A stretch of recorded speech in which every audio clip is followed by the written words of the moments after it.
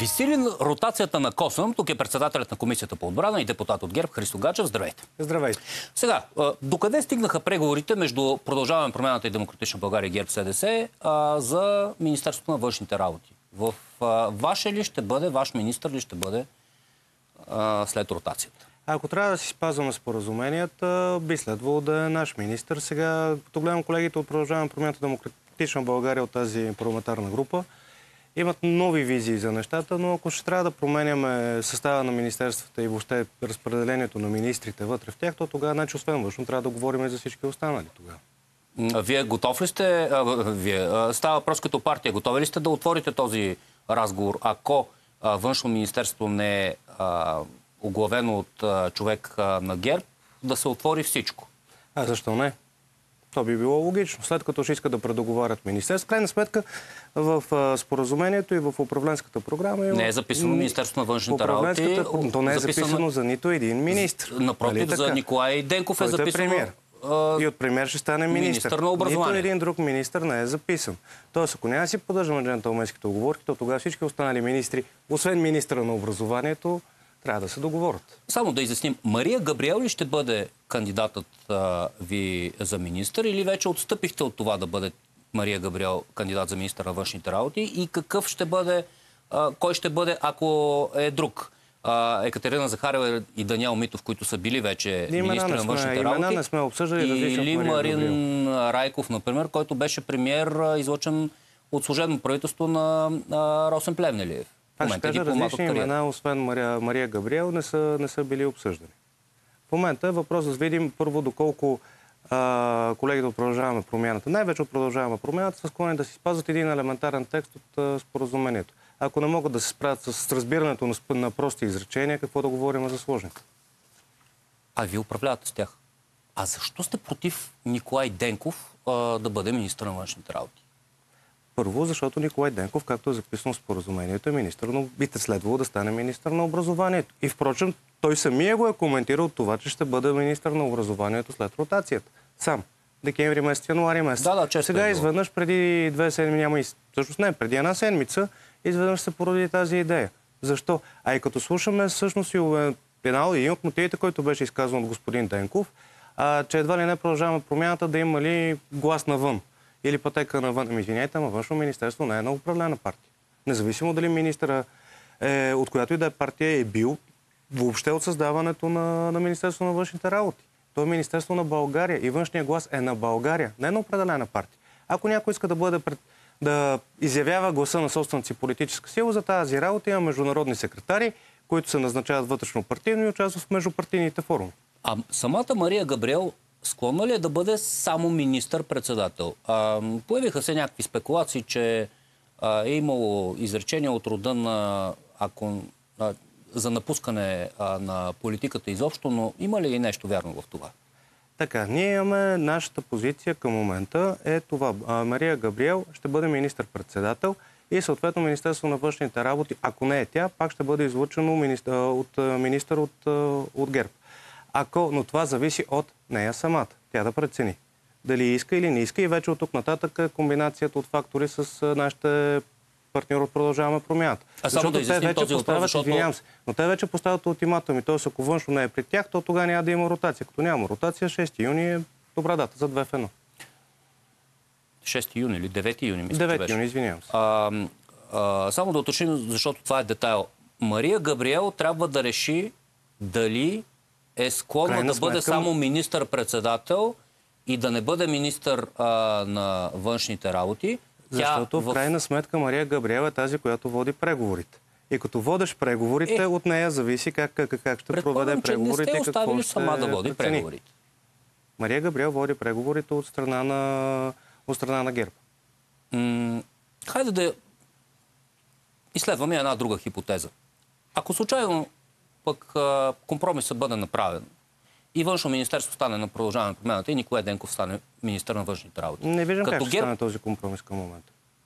Като ГЕРБ, възможно ли е да поискате друго ведомство?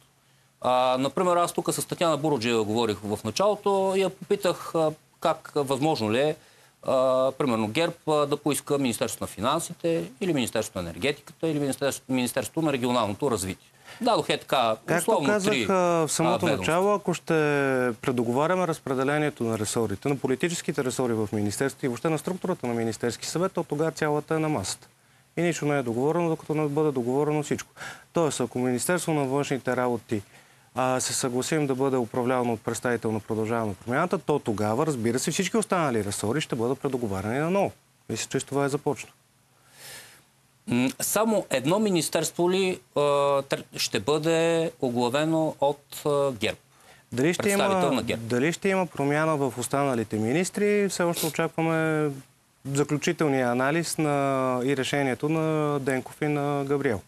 Такъв до момента, поне аз не съм виждал, може би лидерите на парламентарните групи са, са били запознати с техните анализи, но в крайна сметка дали ще има персонални промени в Министерски съвет, зависи от тях. Продължава ли подкрепата ви като партия към вътрешния министр Калин Стоянов? И аз пак една хипотеза тук развих. Възможно ли е историята с външно министерство да бъде използвана като средство за натиск? Ето, Мария Габриел може да остане министър на външните работи, но най-накрая вдигнете ветото Калин Стоянов да не бъде вече министър на вътрешните работи. В тази хипотеза, как, какъв е вашия коментар? Аз от вас не съм, до сега не съм чул някой да иска да в момента в разговорите вече да има ротация на господин Стоянов и той да не е предложение за министър. Ако вие знаете повече от някой, кой ще бъде сменен е, като министър, за съжаление аз не знам. Възлагате ми просто е, хипотези. проверявам. Както казах, за момента всички, всички министри, независимо кое министерство ръководят, предстои да бъдат анализирани. В момента анализа почти готов, доколкото знам от, от госпожа Габриел, от господин Тенков. Те бяха в парламента тази седмица. А, така че вече очакваме да видим как се справят всъщност в работата си. Защото в крайна сметка основни, основният критерий би следвало да е изпълнението на тази програма, която много трудно договорихме през май и юни месец с колегите от Продължаваме промяната и Демократична България. Нека да видим сега какво от, от нея е изпълнено, защото вътре има срокове, вътре има и, и, и цели. Дали са изпълнени или не са изпълнени. Ако някой министр се изпълнява целите, Карин Стоянов, между другото, свърши страшно много работа за, а, по темата за Шенген. И екипа му, между другото. И това е признато не само от нас. То беше наскоро признато дори да от нидерландците. че ГЕРБ а, Нека да видим всички подкр... останали министри, продължава да... си е свършил работата. Ние подкрепяме да целият Министерски съвет до момента. А, каквато подкрепа сме, на спорта ли? А, каквато подкрепа сме... Още ли е министър? Министър. Нали е, така? Нали сега се а, иначе като цяло има кой много... да бъде и кой да не бъде. Ами, нека да видим как ще свършат, как ще свършат тези преговори. Да не, ги, да, да не слагаме каруцата пред кони. А, Ясно ли е обаче по време на тези преговори с чи мандат ще бъде ГЕРБ или да продължаваме в промяната демократична България? Логично би било да без мандат на ГЕРБ. А, а това червена линия ли е? Защото е много модерна вече тази, това словосъчетание червена линия. Ние като цяло под червени линии не, не обичаме да поставяме, защото в крайна сметка политиката е изкуство на възможното. А, нагледали сме се на различни червени линии, които реално не са довели до, до нищо хубаво. Mm-hmm. Логично би било и прагматичното би било да е с, да е с първия мандат, всичко останало би било чешене на него. Вие знаете ли за отправена покана а, от ГЕРБ към а, Движението за права и свободи в а, началото на управлението, нещо за което спомена Делян Пески? Защото той го споменал, има отправена покана. Дали е има отправена Лично покана, аз не знам. е било. Аз покана не знам, виждам, а, но между другото виждам работата как става последните, последните 9, близо 9 месеца в парламент. И между другото с колегите от Продължаваме от парламентарните групи на ППДБ и от парламентарната група на ДПС работим много добре а, и, постигаме, и постигаме резултати. А, в крайна сметка мнозинството, което се формира около Конституцията, показва, че може да бъде и същото мнозинство и в ежедневната работа на, на парламент. Виждате, почти, почти всеки месец трите парламентарни групи имаме свои предложения, които, които реализираме. И те подкрепят и решенията на Министерски съвет. А наистина ли без ролята на ДПС и на Делян Пески, който, ви, който сдобрява основните фактори в двете формации, а, сглобката е щала да се разглоби? То голямо доверие между, между ГЕРБ и между Продължаваме промяната няма. Както виждате и от самите, самите колеги от Продължаваме промяната. А, така че възможността да имаме най-вероятно и по някакъв начин се балансира от страна на Продължаваме промяната, тъй като те работят доста близко. С а, Движението за права и свободи? Е, то ви физически разстоянието е малко. Там, е, физически разстоянието всички сме един до друг. в залата. Залата така предразполага. Колко метафори ми идват, но хайде да минем към столичния общински съвет. Това, което се случи тази седмица, ако се пренесе общинския сценарий в национален мащаб, възможен ли е според вас, ако тези червени линии останат от, от партньорите ви от Продължаване промяната и те настояват и няма да отстъпят от външно министерство да бъде Николай Денков. Така, по-скоро, гледайки Общинския съвет, впрочем, ако обърнете внимание, ви има 265 общини и общински съвети, сигурно около 250 има различни видове коалиции. Някои от тях са доста странни. По-скоро е тук обратното. Практиката от национално ниво по-скоро се пренесе в, в Общинския съвет в София. А, три месеца горе-долу слушахме, поне аз като софиянец, едно кленче, не как не трябва да се избере председател, трябва да се избере председател, поко тук нататък ще видим. Три месеца обяснявахме, че без ясно мнозинство отиваме на варианти плаващи мнозинства което между другото сме го гледали в национален мащаб, не е нещо, което е сложно да се предвиди. А, ето, Избрахме, избра се председател с широка подкрепа. Оттам нататък повечето парламентарни групи, които искат парламент, местния парламент да участва, с повечето общински групи, които искат местния парламент да работи, избраха своите ръководства. Тогава чух първоначално, че колегите от ППД БСС не са били готови. Ами те три месеца, ако не са готови с състава на комисиите си, какво са чакали? И пак, ако мога да, да обърна внимание, не за първи път в българската политика, даже напротив, 21-22 година имаше два парламента, а, които работеха без ясно мнозинство. Без изразено мнозинство вътре. С служебни кабинети. Тоест, изпълнителната власт беше отделена от парламента, горе-долу, както и в момента. И работеха и се избираха комисии.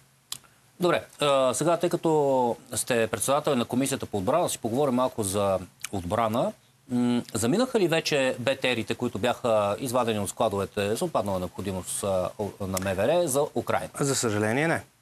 Въпреки всичките, е всичките реклами и причините са, като гледам, не е много добра организация. В крайна сметка решението го взехме края на юли месец.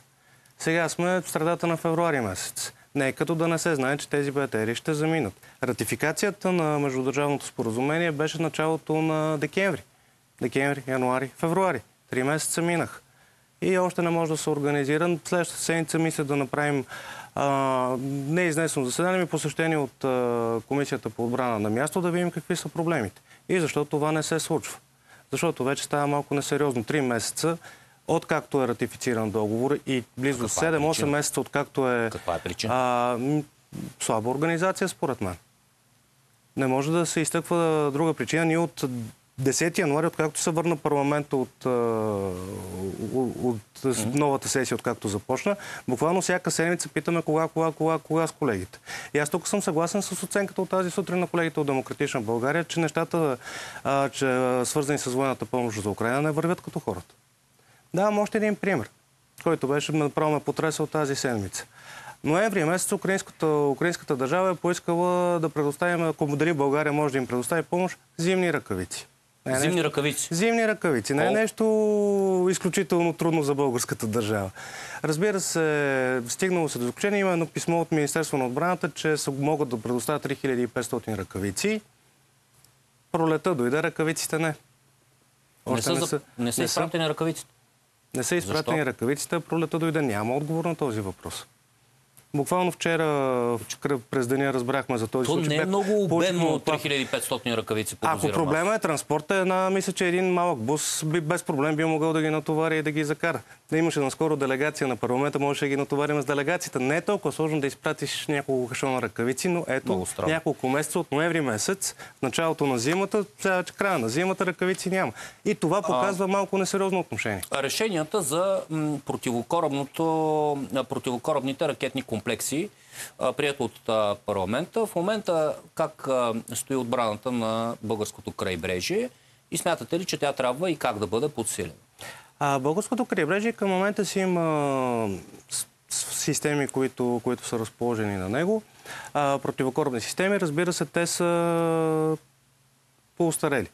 А един от проектите, които през, през годините винаги е седял на масата, Нали, само, че с доста по-крайен срок, по-скоро за към през 2000, след 2030 година, именно за закупуване на такива противокорабни комплекси.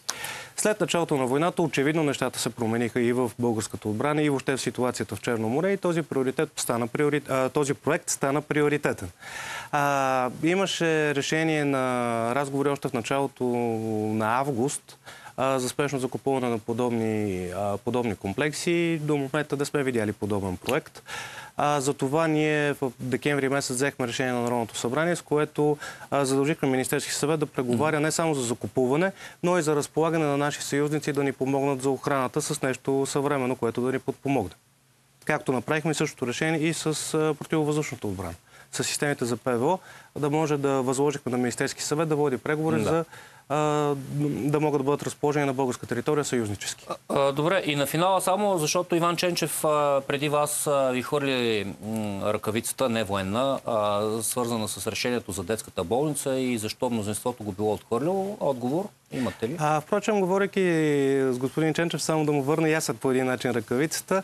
А, миналият парламент, който нямаше ясно мнозинство, нямаше а, изпълнителна власт, а, той беше председател на комисията по култура. То по неговата логика той е трябвало да, да, да напусне тогава парламента, защото всъщност се избра явно зад колисно, тъй като нямаше ясно мнозинство в миналото събрание. Но той беше председател. Това по логика на неговите, а, на тяхните общински съветници. Колкото за самото решение за, за болницата, ние сме се съобразили тук с колегите от, от, другата, от другата парламентарна група на Продължаваме промяната Демократична България. В смисъл? В смисъл решението, което бяхме взели, беше общо на, на, на двете парламентарни групи, включително нали, за, за Не, не, гласуване секунда. по, по Продължаваме промяната решението на... Демократична България са искали да бъде отложено решението за детска болница. А, защо, не, решението не е отложено, решението е взето. Тук става въпрос за друго. Тук става въпрос парламента да гледа всички документи за, за болницата, всички строителни книжа и така нататък и така нататък. Тогава явно Министерство на здравеопазването не е било съгласно с подобен тип вмешат- вмешателство от, от страна на Народното събрание и сме ги подкрепили. Добре. Ами, само с едно изречение на 6 март ще има ли ново правителство с Мария Габриел премьер? Технически на 6 март няма да има, защото тогава оставката има си процедурни срокове. Надяваме се да има. Добре, благодаря. Това беше Христо Гаджев, председател на комисията по а, отбрана и член а, на ГЕРБ. Ние продължаваме нататък.